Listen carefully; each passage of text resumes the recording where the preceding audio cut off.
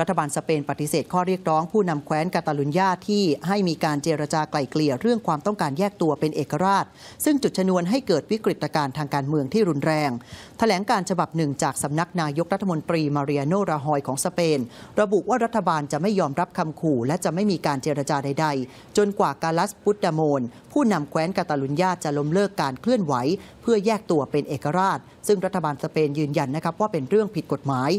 ขณะที่ผู้นำกาตาลุญญากล่าวหาว่ากษัตริย์ของสเปนทรงเพิกเฉยเสียงของชาวกาตาลุญญาหลายล้านคน ด้วยการเรียกร้องให้ล้มเลิกความพยายาม ที่จะแยกตัวออกจากสเปน ความเห็นของพุทธโมนเมื่อวันพุธมีขึ้นหนึ่งวันหลังสมเด็จพระราชาธิบดีเฟลิเป้ที่ 6 สั่งให้ทางการปกป้องระบอบรัฐธรรมนูญ หลังแคว้นกาตาลุญญาจัดให้ประชาชนลงประชามติ เรื่องการแยกตัวเป็นเอกราชครับ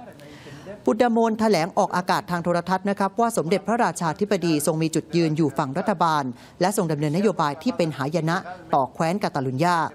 บรรดาผู้นำของแคว้นอันมั่งคั่งทางตะวันออกเฉียงเหนือ ซึ่งมีประชากรราว 7.5 ล้านคน จัดการลงประชามติเมื่อวันอาทิตย์นะครับ ซึ่งเป็นการท้าทายรัฐบาลกลางของสเปน ที่ประกาศว่าการกระทำดังกล่าวเป็นสิ่งผิดกฎหมาย และการใช้กำลังของตำรวจ ขัดขวางการลงประชามติทำให้พลเรือนอย่างน้อย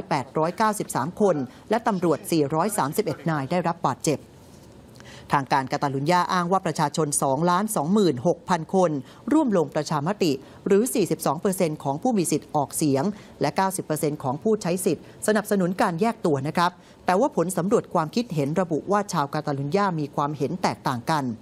ในแถลงการปุตตโมนย้ำข้อเรียกร้องให้รัฐบาลยอมรับการเจรจาไกล่เกลี่ยเพื่อยุติภาวะชะงักงันทางการเมืองที่เป็นอยู่ ส่วนรัฐบาลกลางของสเปนตอบโต้ ว่าให้กลับไปดูที่ข้อกฎหมายครับ